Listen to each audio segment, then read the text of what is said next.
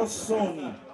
La vittoria dell'Agnonese sul San Marino e il pari della Recanatese a Castelfidardo complicano ulteriormente il campionato del San Nicolò che perde di misura 0-1 contro la quotata Vispesaro e si appresta anche mentalmente a fare proprio la consapevolezza di dover soffrire nell'anno del ringiovanimento dell'organico e di una politica societaria diversa e votata al contenimento dei costi.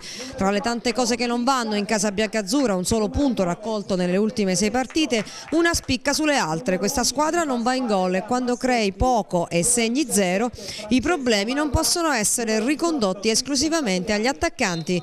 Veniamo alla cronaca, passa solo un giro di lancette, la Vispesaro si rende pericolosa con la prima incursione in area di Baldazzi, assist per Radi ma il tiro è debole e para Dostiglio.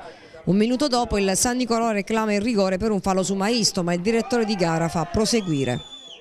La Virtus gioca a viso aperto e la Vispesaro la punisce al nono con Bonacunto bravo a raccogliere un assist di Bellini e a trafiggere Dostiglio.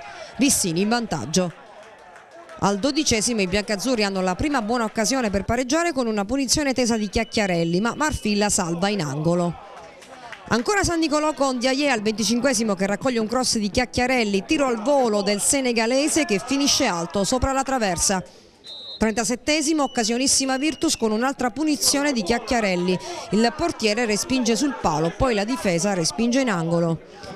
Il San Nicolò continua a spingere ma è la vista ad avere un'altra occasione al 42esimo con un tiro ravvicinato di Olcese parato in due tempi da Dostiglio, la palla era finita sul palo. Finisce qui il primo tempo, squadre a riposo. Nella ripresa stesso copione parte subito forte la Vis con un'incursione di Baldazzi, assist per Olcese che colpisce il palo esterno.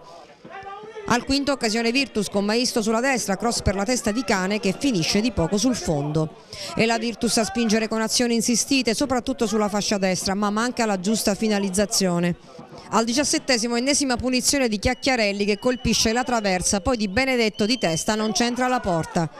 Al ventiduesimo ancora Virtus con un diagonale del nuovo entrato Massetti di poco out.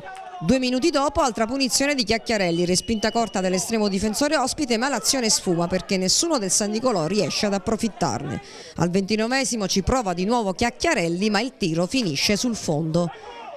La Virtus con la forza della disperazione le prova tutte per acciuffare il pari. Al 41esimo un tiro di Maisto però è troppo centrale e facile preda di Marfella. Finiscono in attacco gli uomini di Campanile su azione da calcio d'angolo di Chiacchiarelli che sfuma però in un nulla di fatto.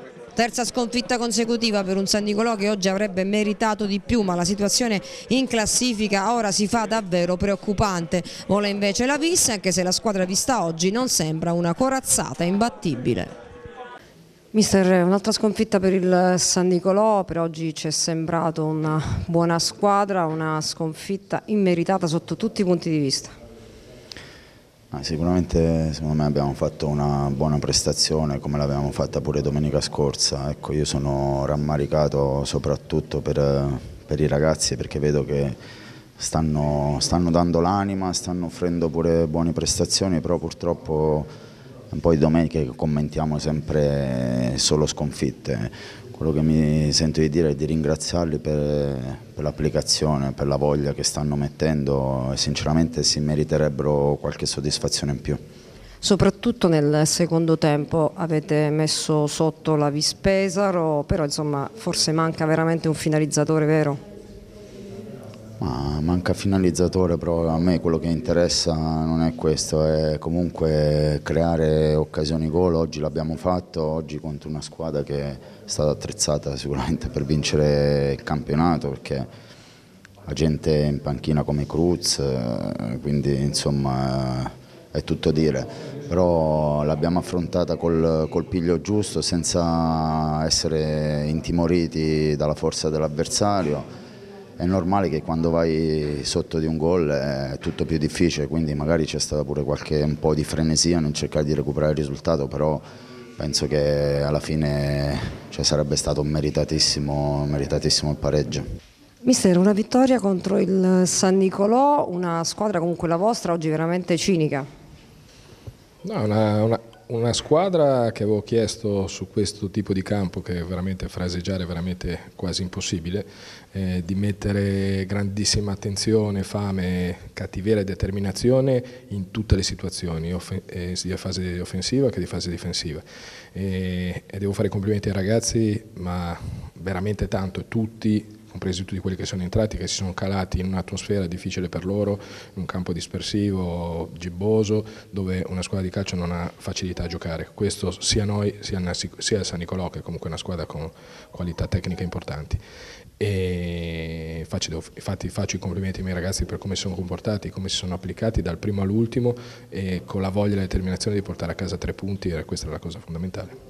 Oggi però avete sofferto più del solito? Ma nel finale è normale, cioè, beh, facciamo il gol all'inizio, abbiamo avuto due o tre occasioni nel primo tempo e due inizio di ripresa per chiudere la partita non siamo riusciti a farlo, è normale che poi San Nicolò inizia a 1, 2, 3, 4, 5, 6 giocatori sopra della palla e tu devi comunque coprire, devi coprire e lavorare per non prendere un gol che per noi era, eh, diventava un problema grosso.